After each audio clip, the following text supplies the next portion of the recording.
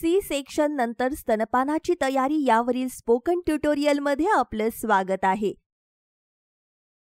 या ट्युटोरियलमध्ये आपण शिकणार आहोत सिझेरियनच्या ऑपरेशन रूममध्ये त्वचेपासून त्वचेच्या संपर्काचे फायदे आणि सी सेक्शन नंतर त्वचेपासून त्वचेच्या संपर्काची तयारी. या ट्युटोरियलमध्ये ऑपरेशन रूमला ओ आर म्हटले जाईल.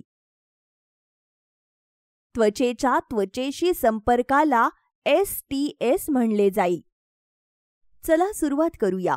ऑपरेशन रूममध्ये लवकरात लवकर त्वचेचा त्वचेशी संपर्क आई आणि नवजात बाळासाठी महत्त्वपूर्ण आहे. याचा त्यांना शस्त्रक्रिया आणि शस्त्रक्रियेनंतरच्या तत्काळ कालावधीदरम्यान फायदा होऊ शकतो. याचा त्यांच्या दीर्घकालीन आणि अल्पकालीन आरोग्यावर भक्कम परिणाम होतो.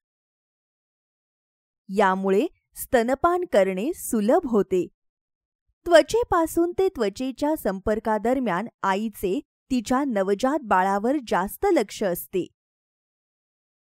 बाळावर लक्ष केंद्रित केल्याने मातेला कमी वेदना जाणवतात. जेव्हा तिला कमी वेदना जाणवते तेव्हा तिची चिंता पातळी कमी होते. यामुळे आई आणि बाळाच्या हृदयाची गती सुरळीत राहण्यास मदत होते. यामुळे दोघांचाही रक्तदाब सामान्य राहण्यास मदत होते. त्वचेपासून त्वचेच्या संपर्कामुळे माता आणि बाळ एकमेकांना उबदार ठेवतात. हे आई आणि बाळाच्या शरीराचे तापमान सामान्य राहण्यासाठी मदत करते. म्हणून प्रसूतीनंतर ताबडतोब ऑपरेटिंग रूममध्ये त्वचेचा त्वचेशी संपर्क केला पाहिजे. रुग्णालयातील कर्मचारी ही प्रक्रिया करण्यास तयार असले पाहिजेत. यासाठी पुरेशी आणि योग्य तयारी करणे आवश्यक आहे. अशी तयारी सिझेरियन प्रसूतीपूर्वी आणि प्रसूतीदरम्यान अशा दोन्ही वेळी केली जाणे आवश्यक आहे. नवजात बाळाची काळजी घेण्यास जबाबदार असणाऱ्या सर्वांचा यात समावेश आहे. त्यात आई आणि तिच्या निकटवर्तीयांचा समावेश आहे. त्यात डॉक्टर परिचारिका आणि ऑपरेशन रूमचे कर्मचारी यांचा देखील समावेश आहे. या लोकांना ऑपरेशन रूममध्ये त्वचेचा त्वचेशी संपर्क या कार्यासाठी प्रशिक्षित करा. आई आणि नवजात बाळाला कसा फायदा होईल हे त्यांना समजावून सांगा. ऑपरेशन रूममध्ये त्वचेपासून त्वचेचा संपर्क करण्यासाठी त्यांना चिंता वाटते. त्यांची चिंता कमी करण्यासाठी त्यांना माता आणि बाळाच्या सुरक्षिततेचे आश्वासन द्या.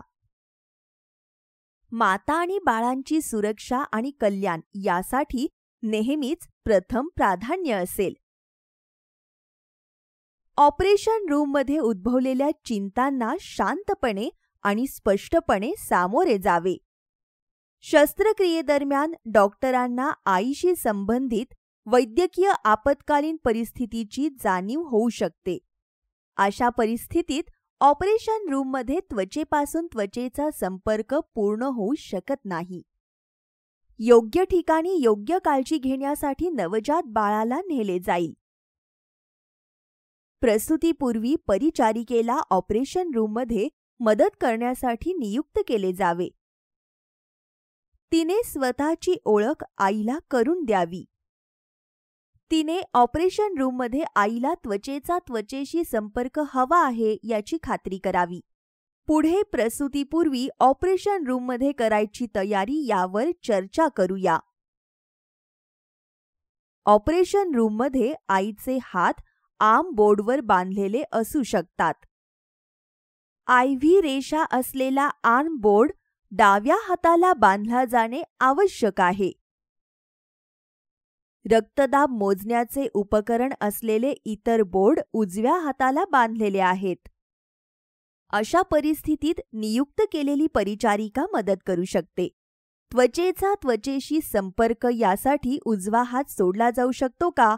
हे तिने डॉक्टरांना विचारायला हवे. तिने आईला सांगावे की हा हात बाळाचा त्वचेच्या त्वचेशी संपर्क ठेवण्यासाठी वापरला जाईल. तिचा रक्तदाब मोजण्यासाठी हा हात काही मिनिटांनी सरळ केला जाईल. तिने खोलीचे तापमान पंचवीस डिग्री सेल्सिअस इतके ठेवले पाहिजे. हे तापमान बाळाच्या आगमनासाठी योग्य आहे. परिचारिकेने आईने ब्रा घातलेली नसल्याचे सुनिश्चित केले पाहिजे. आईच्या गाऊनचे बटन काढावे. हे बाळाला तिच्या छातीजवळ ठेवताना सहजतेने मदत करेल. आयव्ही रेषांची स्थिती परिचारिकेने लक्षात घेतली पाहिजे. हे बाळाला ठेवताना आयव्ही रेषांची अडचण टाळण्यासाठी मदत करते. शेवटी तिने डायपर किंवा लंगोट ठेवावे उबदार टॉवेल्स आणि ब्लँकेट्स तयार ठेवावेत. बाळाला कोरडे करण्यासाठी आणि झाकण्यासाठी ते वापरले जाईल. ऑपरेशन रूममध्ये त्वचेपासून त्वचेच्या संपर्काची तयारी आता पूर्ण झाली आहे. ऑपरेशन रूममध्ये त्वचेपासून त्वचेचा संपर्क कसा सुरू करावा याबद्दल दुसऱ्या ट्युटोरियलमध्ये चर्चा केली आहे. कृपया अधिक माहितीसाठी आमच्या संकेतस्थळाला भेट द्या.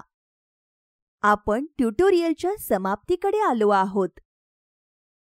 सहभागासाठी धन्यवाद!